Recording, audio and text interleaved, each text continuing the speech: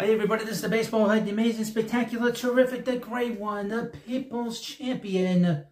Your host, and welcome back to the Baseball Hut 2. Hope you like this video and hit that subscribe button. So, we're back talking about the Olympics, and it's just more fallout. And a lot of people are giving their takes on it. Um, and really, we know what the situation is there in the Olympics. It's just a disaster there. From the opening ceremony where they brought out these uh, men dressed up like uh, female demonic clowns. I would mention, somebody wrote to me and said that I don't know history, I don't know mythology, and that was a mythological scene that they were showing. And that Jesus Christ, that Christ took all those things, they added all this stuff after, you know, after after Christ was gone, you know, the Christians, they added all this stuff. Let me explain something to people. Mythology is mythology. Didn't happen. Jesus Christ was a human, breathing person. He was an historical figure. He existed on this planet. Nobody's stealing, he's not stealing anything from anybody. So people said that he did certain things and he did it. Okay? And the fact that people are still talking about him for you know 2,000 years later must have meant that he was very important.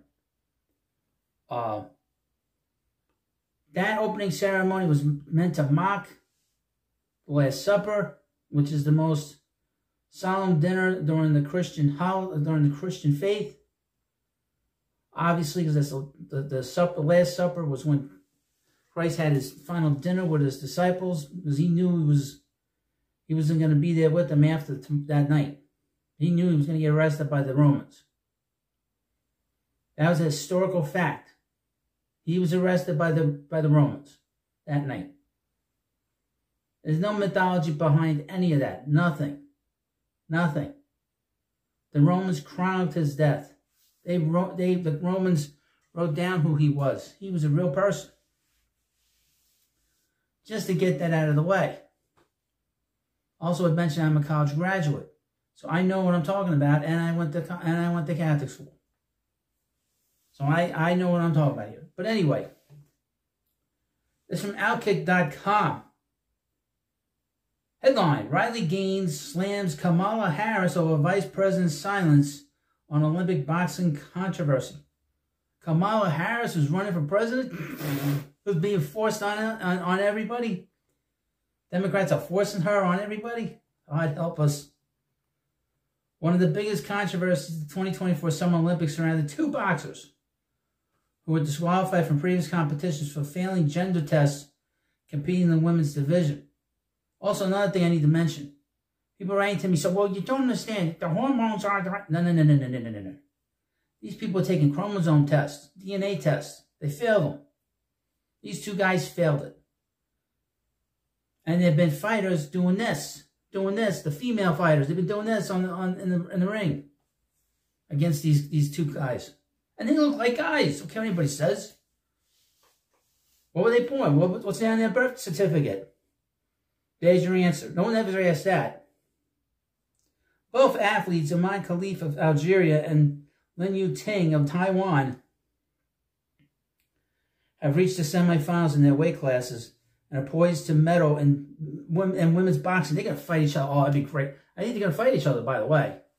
They're going to. It's going to be great. Two men fighting in the women's competition. That's great. These are two failed male fighters, just like Lia Thomas was a failed, whose name is really William, failed in the men's competition when swimming. Riley Gaines competed against him, and he walking around the locker room naked. And, you know, and he knew he wasn't.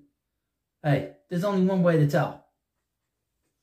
Riley Gaines hosts the Outkick podcast, Gaines for Girls, one of the most influential pro-women voices in the country, has been an outspoken critic of the International Olympic Committee for allowing Khelif and Yu Ting to fight women.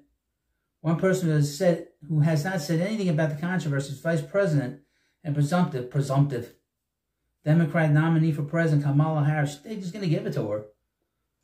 They don't have like elections with the Democrats. Outkick reached out to Harris's campaign and her White House staff multiple times over the past week to get her comment on the situation. They have not responded to any requests. They might not know what the hell they're talking about. She might not know what's going on. She don't know whether she's coming or going, that woman. Gaines appeared on Fox News and bashed Harris for not standing up for the women in the Olympic boxing competition, issued a warning about what her silence says about potential policies for the U.S. should Harris be elected. Quote, a vote for Kamala is a vote against your daughter's future, Gaines told Fox News host Jesse Watters. I see lots of people on social media saying they will be voting for Kamala because she's a woman. Gaines continued, I'll be voting for Donald Trump because I am a woman. Well, for his part, former U.S. President and current Republican pres presidential nominee Donald Trump immediately expressed his disapproval of the IOC allowing two boxers with XY chromosomes to punch women in the face at the Olympics. Trump told Outkick founder Clay Travis on Travis's radio show, Clay and Buck, it's ridiculous that two fighters are competing in the women's division. He, he stated his position clearly, quote, men will not be playing, I mean, men will not be playing in women's sports. The controversy at the Olympics coincides with the Biden's Biden administration's rewrite of Title IX, which went into effect August 1st. Although Vice President Kamala Harris has not responded to requests for a comment, as Gaines noted, Harris openly supports Biden's Title IX changes. Those changes allow anyone who identifies as a woman, as, as the two Olympic boxers who have failed previous gender tests do, to use private spaces reserved for women in higher education. Instead of basing Title IX on sex as it was originally intended, the Biden-Harris administration wants the protection to be based on gender identity. That's exactly what Gaines means when she says that a vote for Kamala is a vote against your daughter's future. I would mention that if this becomes more prevalent, where, where boys and men are getting into these girls and women's like different sports, it's just gonna no girl's gonna participate because and no parent's gonna want them to go up against. Now here's the thing: when, boys and girls are, are the same age, around ten years old, they, they're on an equal footing. But once that boy hits puberty, the girl's at a disadvantage. So any girl competing against a, a boy in, in his teens, they're at a disadvantage physically. No mother, no father's going to want their, their girls competing against these boys and these men. They're going to get physically hurt.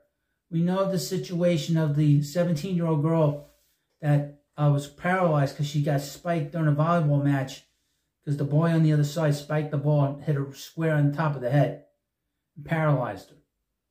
That's the power of a man versus a woman. And, and, and I don't need to be retarded. It's not retardation.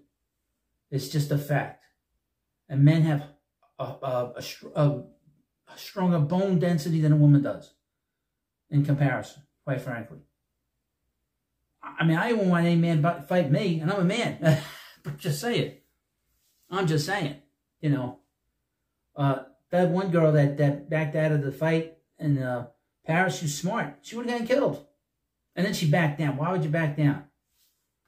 They must have told if you didn't back down, you're not going to fight again on an international level. That's probably what happened. Probably someone in her country probably told her that.